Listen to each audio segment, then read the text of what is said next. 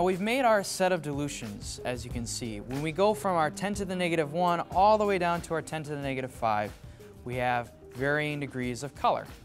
Now this should be reflected in your experiment. You should see varying degrees of turbidity as you go down your dilution series. Now what we need to do is we actually need to see how much bacteria is in a certain set of our dilutions. So we need to plate that out on a, a, a plate. So going back to what we had done in the past, we're going to place our pipette very carefully and aseptically into our plunger. We're going to open up our vial that was labeled 10 to the negative 2. Aseptically take that cap off because we are dealing with bacteria and we're drawing up one mil of liquid. So that one mil, we got to go all the way up to that zero line. We'll cap up our sample. And in our plate that we've appropriately labeled 10 to the negative 2 dilution, we're going to place our 1 mil directly into the bottom of that plate. Dispensing by pressing that plunger or rolling down on the dial. We'll cap that up to prevent anything from falling into our plate. We'll take that pipette and discard it appropriately.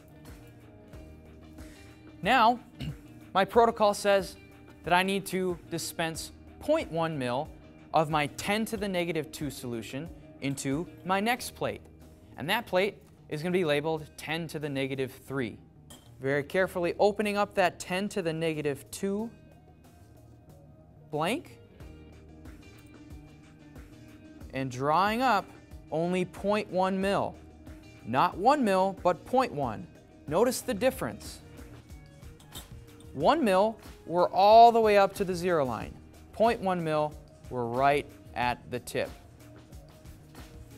We'll very carefully put that cap back on, open up our 10 to the negative 3 plate, and dispense that 0.1 mil into the bottom of the plate, and then covering to make sure nothing falls in.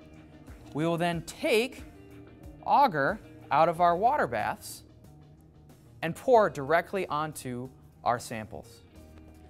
So we've got our bottle of agar and we'll do just as we've done in the past. Very carefully opening up our plate and pouring the agar directly into our sample. We'll do that for both of our plates. We then want to very carefully, using a figure eight motion, mix our plates so that the bacteria gets evenly distributed in the agar. If at any point you're going fast and you have agar going up into the lid, so we have agar in our lid here, but no agar here, we have potential for contamination. We don't want to have agar in the lid. We want to go nice and slow in a figure eight motion to evenly dispense the bacteria in the nutrient agar, avoiding any agar from getting into the lid.